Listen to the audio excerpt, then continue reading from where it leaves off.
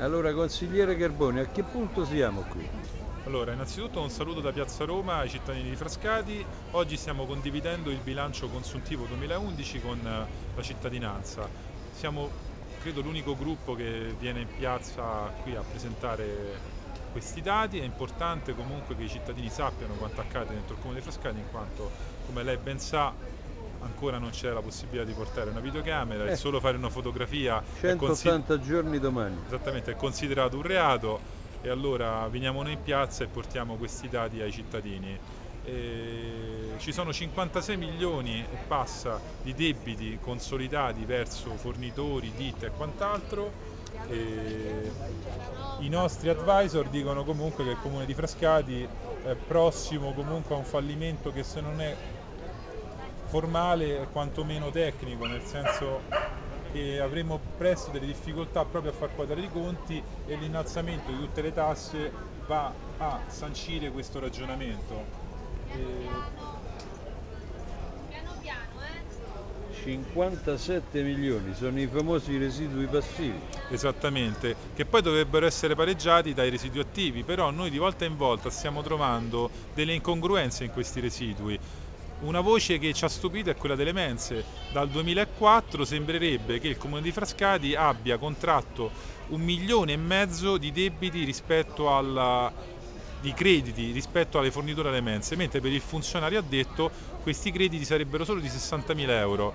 In una commissione che si è tenuta giovedì il direttore generale di Paolo è rimasto stupito da, questo- da questa differenza comunque di 1.300.000 Cioè, euro e hanno passa. scritto 1 milione e 472. Esattamente, mentre secondo il funzionario che eh, teneva fino a ieri il servizio, funzionario che poi stranamente è stato rimosso da questo servizio, il, il credito sarebbe di soli 60.000 E da euro. quanto tempo è stato rimosso? È da una decina di giorni, non di più. Ah. Probabilmente perché eh, si è opposto al fatto che c'era questa, questa differenza così Forse grande. debbono mettere qualcuno fedele. Io adesso questo non lo posso dire perché qui si va veramente nel torbido, se fosse quanto lei sibillinamente afferma. Noi quello che dobbiamo cercare di fare è di tenere i conti quanto più in regola possibile e far sapere ai cittadini se ci sono delle situazioni di difficoltà, perché poi non dimentichiamo nel momento in cui il comune di Frascati verrà commissariato nel bilancio, la prima cosa che farà il commissario ad acta sarà aumentare tutte le tasse al massimo possibile, il che in effetti potrebbe neanche essere così male perché ci stiamo arrivando noi di volta in volta, perché se pensiamo che l'IRPEF è raddoppiata nel giro di due anni, che eh, l'IMU sulla seconda casa e sui locali commerciali è già al massimo e sulla prima casa è al 4 per 1000, cosa che in realtà sta aumentando di, di volta in volta.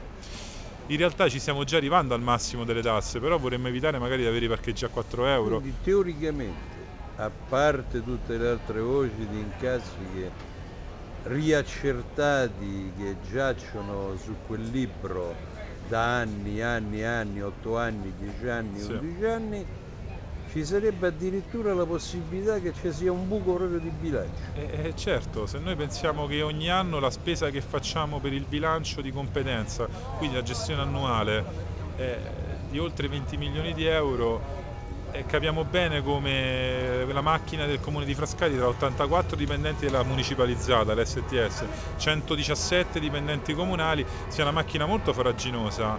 Poi abbiamo anche delle spese che come quella delle scuderie a Dobrandini che è un po' il leitmotiv Eh, di questi vabbè, ultimi quello- anni, questo ormai lo sanno tutti. Comunque dove ci cultura, andiamo sotto cultura. 430 mila euro all'anno di po' una debiti. cosa, ma eh, invece quello che a me mi, mi- mi stupisce è che quest'anno siano stati espunti residui attivi, cioè soldi da incassare, per 4 milioni e 972 mila euro.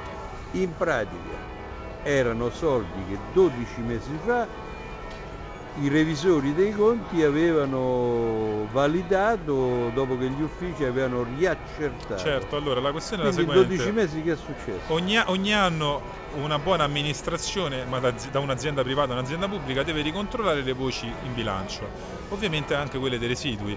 E queste sono semplicemente voci che per un motivo o per un altro e adesso non ci sono più, è stato certificato che non ci sono più. Quello che noi diciamo come PDL, come gruppo consiglio PDL, è che questi soldi sono in realtà molti di più e che il comune di Frascati sta limitando questa eliminazione dei residui appunto per tenere il bilancio formalmente in pareggio, quando se domani tutti quanti i nostri creditori i nostri debitori, scusi, ci chiedessero i soldi, noi saremmo semplicemente che falliti, dovremmo vendere scrivanie, cosa che tra l'altro ha fatto la Smile, che è l'azienda che eroga il servizio E la Schiaffini e pure. la Schiaffini. Quindi noi abbiamo Cocciano che per 15 giorni è rimasto al buio in quanto noi dovendo pagare 1.200.000 euro alla Smile, loro hanno detto o ce li pagate o smettiamo di farvi la manutenzione, ma è anche sensato. Mentre abbiamo Schiaffini che adesso ci ha fatto un decreto ingiuntivo per 2 milioni di euro e quindi c'è- potrebbe anche succedere che a breve la stessa... eh, lo stesso trasporto pubblico vada in sofferenza, vada in crisi perché poi è anche normale che se io che sono eh, quello che appalta il servizio poi non paga,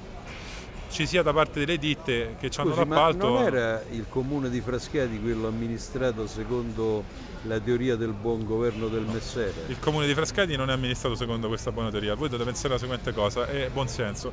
Posa vince la prima volta con 40 voti, cioè va al ballottaggio con 40 voti su Molinari, quindi prende il 33%. E trova La i- seconda volta e trova i soldi in cassa. e trova 8 miliardi di lire in cassa poi di liquidità. La seconda volta prende il 76%, vuol dire che in 5 anni è stato così bravo da aumentare del 40%. Ovviamente la bravura è stata che c'è stata una spesa pubblica eccessiva rispetto a quello, ci siamo indebitati, ci siamo indebitati facendo un po' un modello craxiano, un po' un modello socialista e alla fine ci troviamo adesso che ci servirà un commissario alla Monti, quindi Eh. lacrime e sangue, per rimettere a posto tutte le feste che abbiamo fatto nel corso degli anni della seconda gestione Posa. I famosi circensi. Esattamente, e quindi Tommaso è colpevole perché in tutti questi anni ancora è riuscito a Era contrarre. assessore poi, era assessore. Di Tommaso era tra l'altro quindi è co- connivente con questo sistema politico, ma noi dobbiamo cambiare il sistema politico in modo tale che alle persone, ai cittadini andiamo anche a contrarre la pressione fiscale. Grazie.